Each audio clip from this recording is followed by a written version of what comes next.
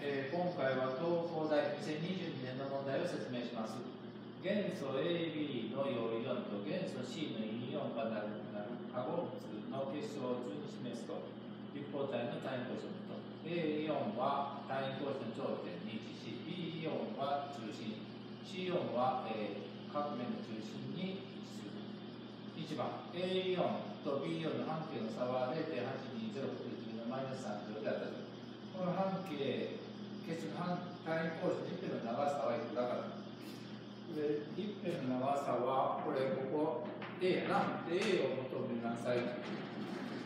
これ、あの、A の半径を、えー RA としたら、ここ、まあこれ C と A が接してると考えたら、RA と RC の2倍やな。2倍、2倍、この2倍が、対 A は、ルート2対1やな。ルート2対1。だからこの、えールート 2A が2倍の RA プラス RC だ。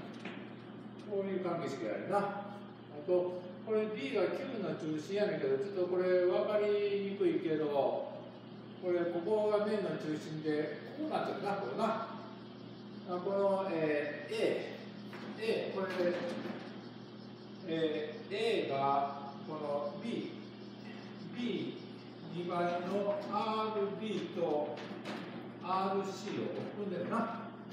で、半径 A と B の差が分かってるので、これ C を勝負してるな。これ引いたらルート2引く1の A が2倍の RA イコール B。この RA イコール B が0.82やから、1.64×10 のマイナス8乗センチメートル。これからね、A を求めるとね、A はね、えーで1.42、1.412やから、0.4ぐらいはあるな。これね、約ね、0は 4.0×10 のマイナス8乗。4.0×10 のマイナス8乗センチメートルで出てきます。ね。これが一番。えーこのケツの密度はいくらか密度っていうのはね、この A3 乗かける D かけて、ね、で、えー原子が、えーこれは1個か、で、アボガドロ数、えーアボガドロ数かけたら原子量だな。原子量は88と48、48やな。48と B が48で、C が、これ8分の1が、えー、8個やから16。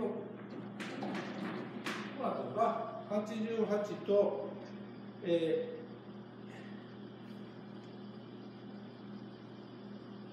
えー C、C はあれ、2分の1があれが3個やな。これは2分の1、黄色は2分の1が6個やから3個やってるな。こうなります。ね、A3 乗。で、これで計算して D イコールに直すとね、値が代入して D イコールに直すと、D はね、え、なんか4.77。4.77グラム毎2センチメー。プアダス入れるね。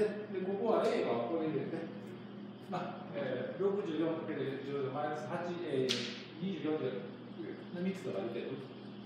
Likewise